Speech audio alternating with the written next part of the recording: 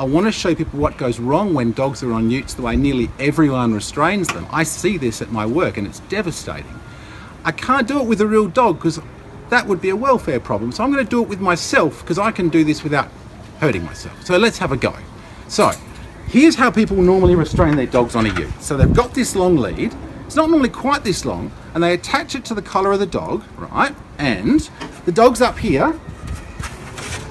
what they do is they have it so that the dog can look out the side because I mean everyone loves their dogs having the fresh fresh air and they want to you know get the wind in their face and it's nice. So the dogs are riding along like this, right? Looking over the thing here, and that's all very fun.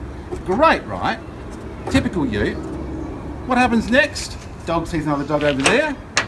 Ute goes around a corner fast. You never really know. But the next thing that happens, dog's looking out here and he's having a good time and the bum goes over.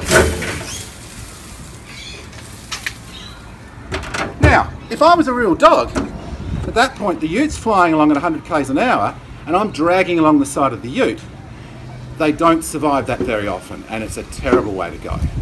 Now I want to show you how to do it properly. So now I've got the right sort of restraint for dogs on utes. This is something you buy made for purpose. It's got two buckles at each end. It clicks one onto a special attachment you put in the center of the back of your ute and the other goes on the collar of the dog. And the idea is when the dog is sitting on the ute and you go around that corner and this attaches and pulls him around, his bum doesn't go off. He's still on the ute no matter what.